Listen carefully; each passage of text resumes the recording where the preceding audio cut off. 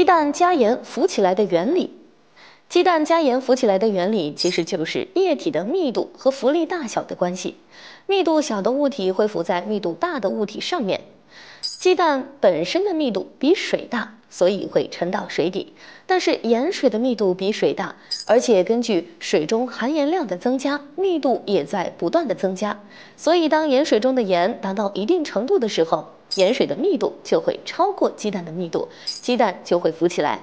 如果进入液体的鸡蛋的体积一定，那么液体密度越大，鸡蛋所受到的浮力也越大。也就是，当我们在清水里不停地加盐，水的密度就会逐渐增大，浮力也逐渐增大。当水的比重超过了鸡蛋的比重时，鸡蛋就不会沉到杯底。当浮力达到一定程度时，鸡蛋就会浮起来。所以，这也能够证明密度因素可以影响浮力大小。